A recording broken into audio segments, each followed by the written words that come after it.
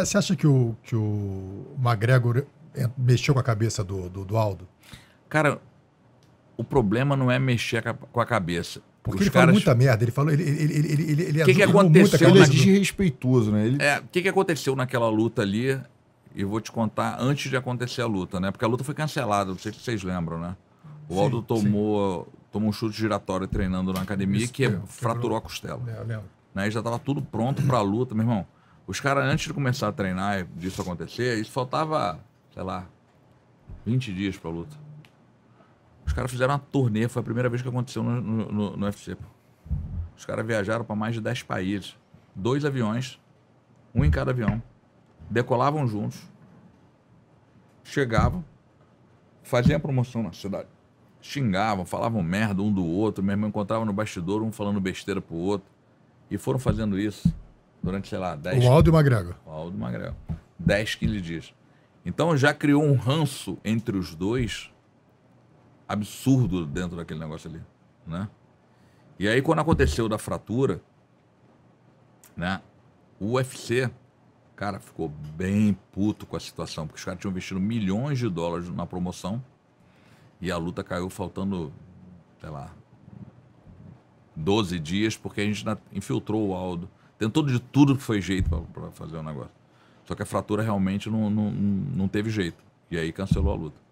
E aí o McGregor virou campeão, né? Que foi a primeira sacanagem que aconteceu com o Aldo nessa situação.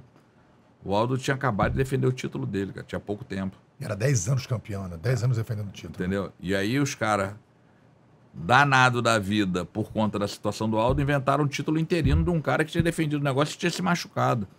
Mas eles queriam o McGregor campeão porque era o cara que mais vendia e é o cara até hoje que mais vende no UFC.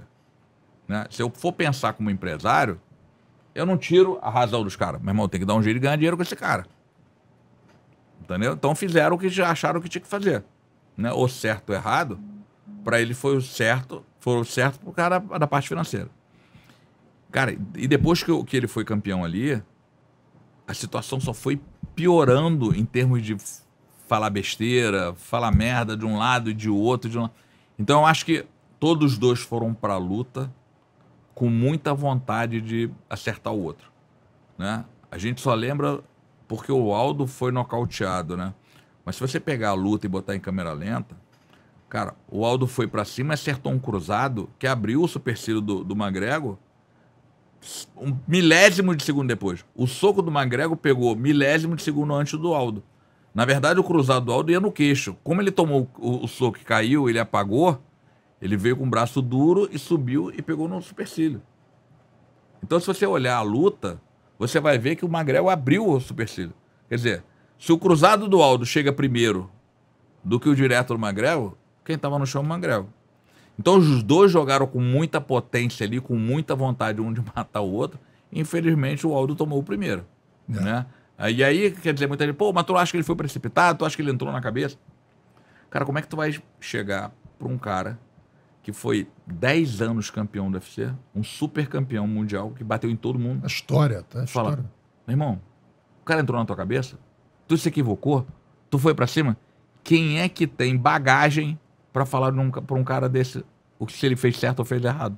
Se é. o cara entrou na cabeça dele, se o cara entrou na cabeça dele. Não existe uma situação dessa. Um cara com tanta luta, com tantas vitórias, com. Meu irmão, o Aldo, quando ele foi eh, lutar ele recebeu o cinturão do UFC, porque ele era o campeão do WC. Primeira luta do Aldo pelo título do, do UFC foi no Canadá com 55 mil pessoas. Tu tem noção do que é tu lutar para 55 mil pessoas? É. Um moleque que morava na academia? Meu irmão, pensa num, num, numa adrenalina que é você entrar e ter 55 mil pessoas berrando para você. Madison Square Garden tem 10, 12 mil. Pô. É. Então, como é que você pode às vezes o pessoal pensa, caramba, não, mas o cara entrou na cabeça. Eu falei, meu irmão, tu não tá entendendo.